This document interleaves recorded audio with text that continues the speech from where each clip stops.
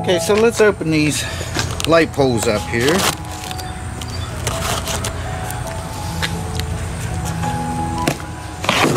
I'm excited about these ones because I set up a lot of Christmas decorations and these will come in very handy for me.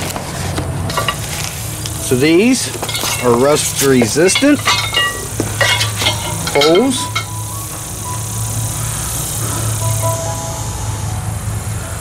So you don't have to worry about them rusting while they're out and they're easy to set up. And here are the instructions. Very easy. Now let's put these together. Very nice. They're very strong poles. And they just screw together very easily.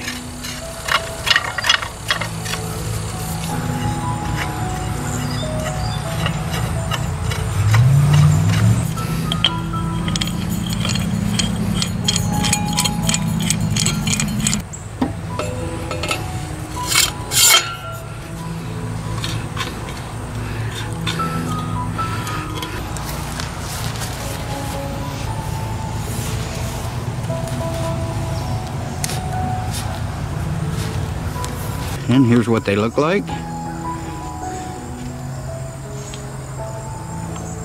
If you have campsites, you can attach a tiki torch on top of there with some zip ties if you want, and you can have tiki torches around your camp area.